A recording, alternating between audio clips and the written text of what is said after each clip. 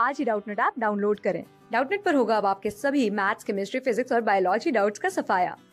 बस अपने क्वेश्चन की फ़ोटो खींचो, उसे क्रॉप करो और तुरंत वीडियो सोल्यूशन पाओ।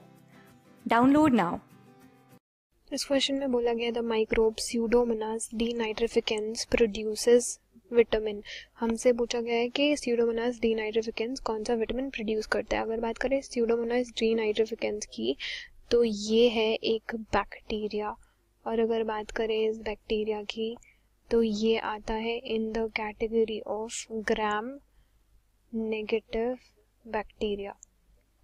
और जो ये बैक्टीरिया होता है, ये होता है एक एरोबिक बैक्टीरिया मतलब इसको चाहिए ऑक्सीजन। और ये पहली बार first isolated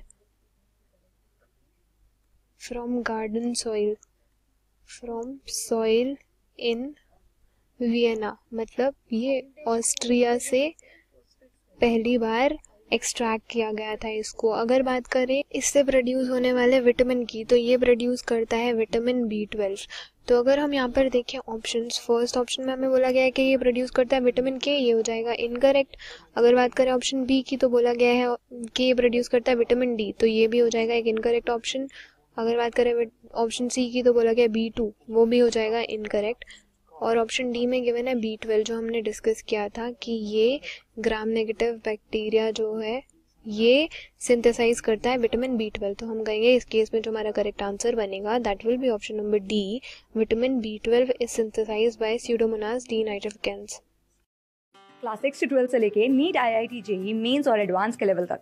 दस मिलियन से ज़्यादा स्टूडेंट्स का भरोसा. आज ही डाउनलोड करें डाउट नेट आप या व्हाट्सअप कीजिए अपने डाउट्स आठ चार सौ चार सौ चार सौ पर।